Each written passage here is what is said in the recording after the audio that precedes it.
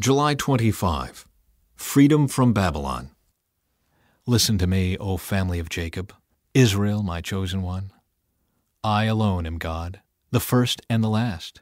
It was my hand that laid the foundations of the earth, my right hand that spread out the heavens above. When I call out the stars, they all appear in order. Have any of your idols ever told you this? Come, all of you, and listen. The Lord has chosen Cyrus as his ally. He will use him to put an end to the empire of Babylon and to destroy the Babylonian armies. I have said it. I am calling Cyrus. I will send him on this errand and will help him succeed. Come closer and listen to this. From the beginning I have told you plainly what would happen. And now the sovereign Lord and his Spirit have sent me with this message. This is what the Lord says, your Redeemer, the Holy One of Israel.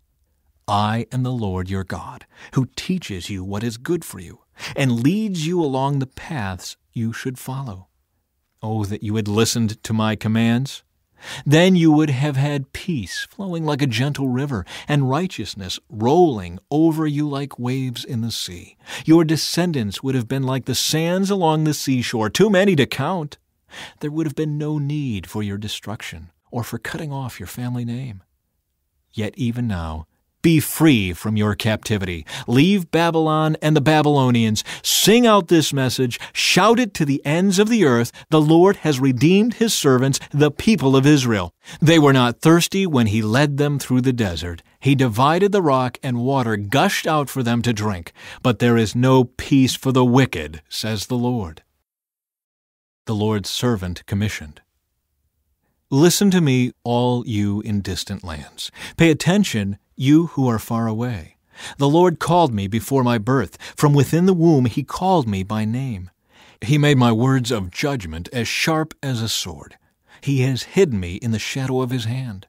I am like a sharp arrow in his quiver. He said to me, You are my servant, Israel, and you will bring me glory. I replied, but my work seems so useless. I have spent my strength for nothing and to no purpose. Yet I leave it all in the Lord's hand. I will trust God for my reward.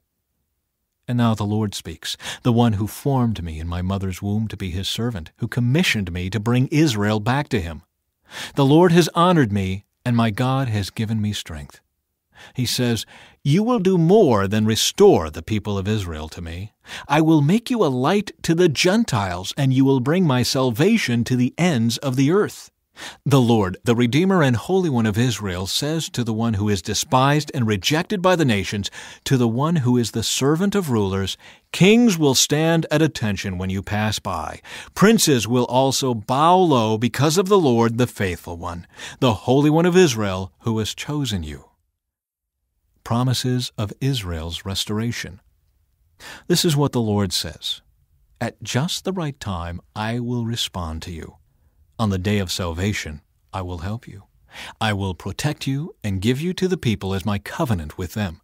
Through you, I will reestablish the land of Israel and assign it to its own people again.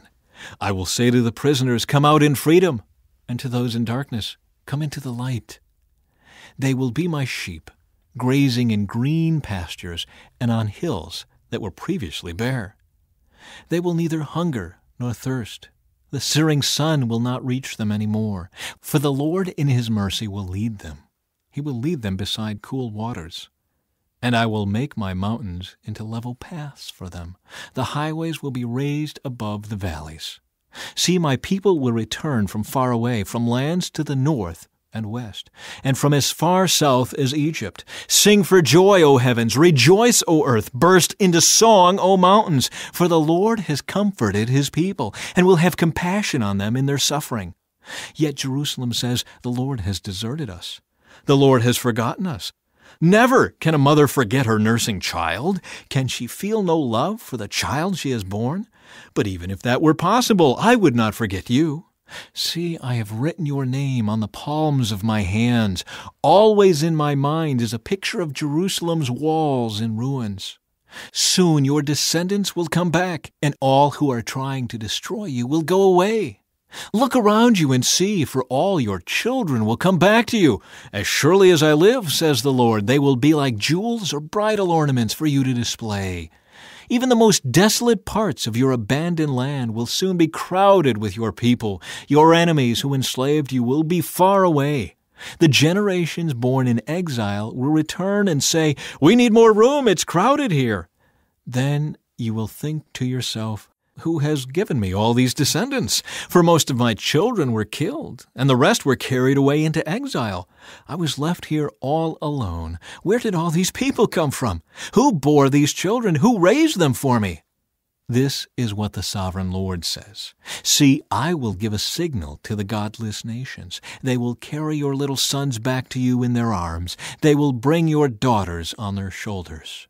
Kings and queens will serve you and care for all your needs. They will bow to the earth before you and lick the dust from your feet. Then you will know that I am the Lord. Those who trust in me will never be put to shame. Who can snatch the plunder of war from the hands of a warrior? Who can demand that a tyrant let his captives go?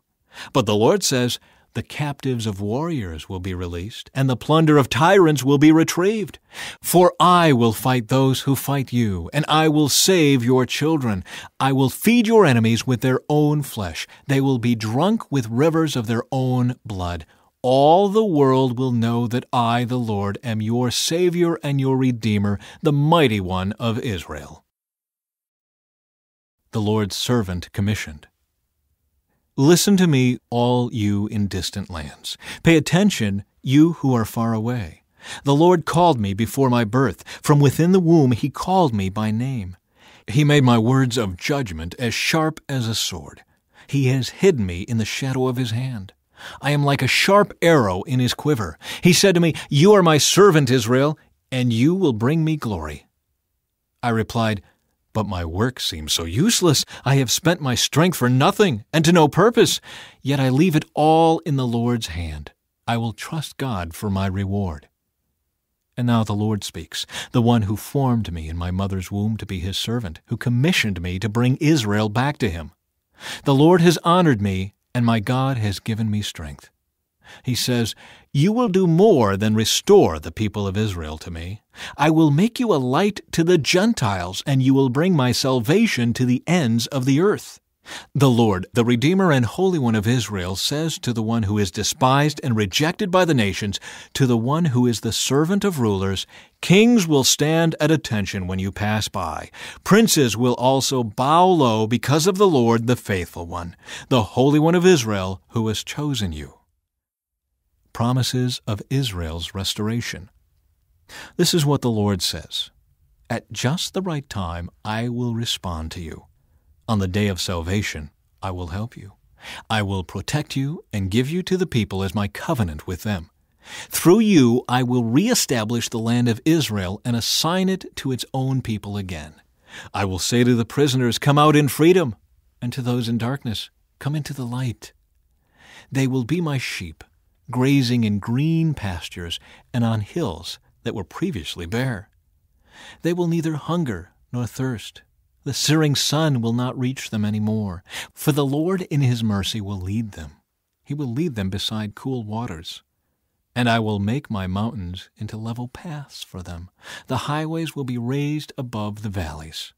See, my people will return from far away, from lands to the north and west, and from as far south as Egypt. Sing for joy, O heavens! Rejoice, O earth! Burst into song, O mountains! For the Lord has comforted his people, and will have compassion on them in their suffering.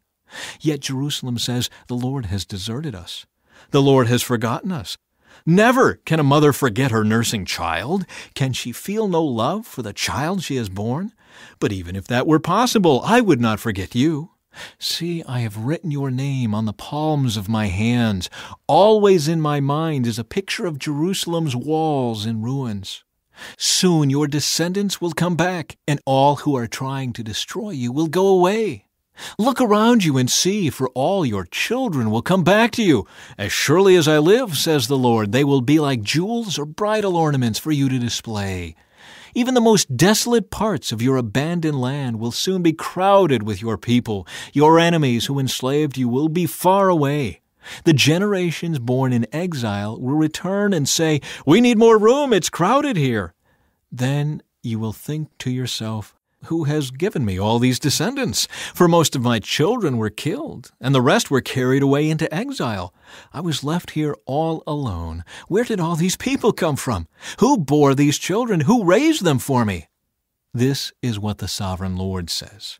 See, I will give a signal to the godless nations. They will carry your little sons back to you in their arms. They will bring your daughters on their shoulders. Kings and queens will serve you and care for all your needs. They will bow to the earth before you and lick the dust from your feet. Then you will know that I am the Lord. Those who trust in me will never be put to shame. Who can snatch the plunder of war from the hands of a warrior? Who can demand that a tyrant let his captives go? But the Lord says, The captives of warriors will be released, and the plunder of tyrants will be retrieved. For I will fight those who fight you, and I will save your children. I will feed your enemies with their own flesh. They will be drunk with rivers of their own blood all the world will know that I, the Lord, am your Savior and your Redeemer, the mighty one of Israel. This is what the Lord says Was your mother sent away because I divorced her? Did I sell you as slaves to my creditors? No, you were sold because of your sins, and your mother too was taken because of your sins. Why was no one there when I came? Why didn't anyone answer when I called? Is it because I have no power to rescue? No, that is not the reason. For I can speak to the sea and make it dry up. I can turn rivers into deserts covered with dying fish. I dress the skies in darkness, covering them with clothes of mourning. The Lord's obedient servant. The sovereign Lord has given me his words of wisdom so that I know how to comfort the weary. Morning by morning he wakens me and opens my understanding to his will. The sovereign Lord has spoken to me, and I have listened. I have not rebelled or turned away. I offered my back to those who beat me, and my cheeks to those who pulled out my beard. I did not hide my face from mockery and spitting. Because the sovereign Lord helps me, I will not be disgraced. Therefore I have set my face like a stone, determined to do his will and I know that I will not be put to shame. He who gives me justice is near. Who will dare to bring charges against me now? Where are my accusers? Let them appear. See, the sovereign Lord is on my side. Who will declare me guilty? All my enemies will be destroyed, like old clothes that have been eaten by moths. Who among you fears the Lord and obeys his servant?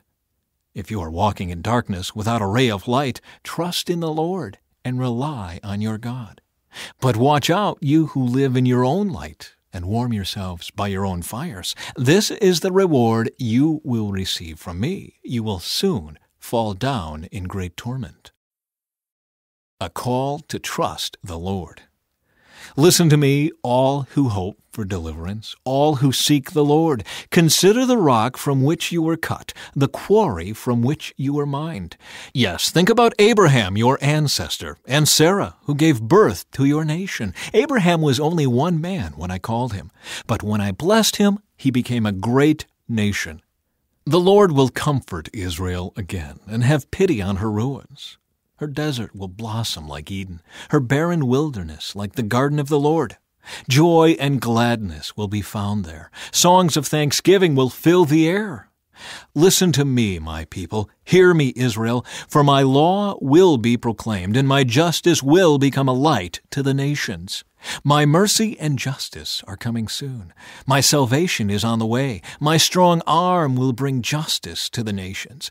All distant lands will look to me and wait in hope for my powerful arm.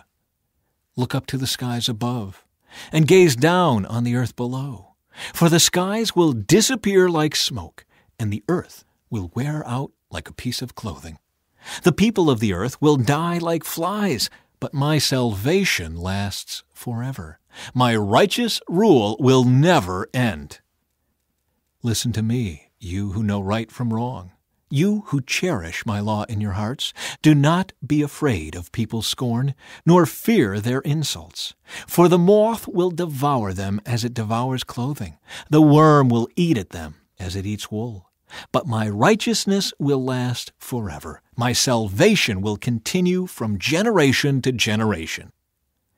Wake up, wake up, O Lord, clothe yourself with strength, flex your mighty right arm, rouse yourself as in the days of old when you slew Egypt, the dragon of the Nile. Are you not the same today, the one who dried up the sea, making a path of escape through the depths so that your people could cross over? Those who have been ransomed by the Lord will return. They will enter Jerusalem singing, crowned with everlasting joy. Sorrow and mourning will disappear, and they will be filled with joy and gladness. I, yes, I am the one who comforts you. So why are you afraid of mere humans who wither like the grass and disappear? Yet you have forgotten the Lord your Creator, the one who stretched out the sky like a canopy and laid the foundations of the earth. Will you remain in constant dread of human oppressors? Will you continue to fear the anger of your enemies? Where is their fury and anger now? It is gone. Soon all you captives will be released. Imprisonment, starvation, and death will not be your fate. For I am the Lord your God, who stirs up the sea, causing its waves to roar. My name is the Lord of heaven's armies, and I have put my words in your mouth and hidden you safely in my hand. I stretched out the sky like a canopy and laid the foundations of the earth. I am the one who says to Israel, You are my people. Wake up, wake up, O Jerusalem! You have drunk the cup of the Lord's fury. You have drunk the cup of terror, tipping out its last drops. Not one of your children is left alive to take your hand and guide you. These two calamities have fallen on you desolation and destruction, famine and war. And who is left to sympathize with you? Who is left to comfort you? For your children have fainted and lie in the streets, helpless as antelopes caught in a net. The Lord has poured out his fury. God has rebuked them. But now listen to this, you afflicted ones, who sit in a drunken stupor though not from drinking wine? This is what the sovereign Lord, your God and defender, says See, I have taken the terrible cup from your hands. You will drink no more of my fury. Instead, I will hand that cup to your tormentors, those who said, We will trample you into the dust and walk on your backs. Deliverance for Jerusalem. Wake up, wake up, O Zion! Clothe yourself with strength. Put on your beautiful clothes, O holy city of Jerusalem, for unclean and godless people will enter your gates no longer. Rise from the dust, O Jerusalem, sit in a place of honor. Remove the chains of slavery from your neck, O captive daughter of Zion. For this is what the Lord says When I sold you into exile, I received no payment. Now I can redeem you without having to pay for you. This is what the sovereign Lord says Long ago my people chose to live in Egypt. Now they are oppressed by Assyria. What is this? asks the Lord. Why are my people enslaved again? Those who rule them shout in exultation. My name is blasphemed all day long. But I will reveal my name to my people, and they will come to know its power. Then at last they will recognize that I am the one who speaks to them. How beautiful on the mountains are the feet of the messenger who brings good news, the good news of peace and salvation, the news that the God of Israel reigns. The watchmen shout and sing with joy, for before their very eyes they see the Lord returning to Jerusalem. Let the ruins of Jerusalem break into joyful song, for the Lord has comforted his people. He has redeemed Jerusalem. The Lord has demonstrated his holy power before the eyes of all the nations. All the ends of the earth will see the victory of our God. Get out, get out and leave your captivity where everything you touch is unclean. Get out of there and purify yourselves, you who carry home the sacred objects of the Lord. You will not leave in a hurry, running for your lives, for the Lord will go ahead of you. Yes, the God of Israel will protect you from behind.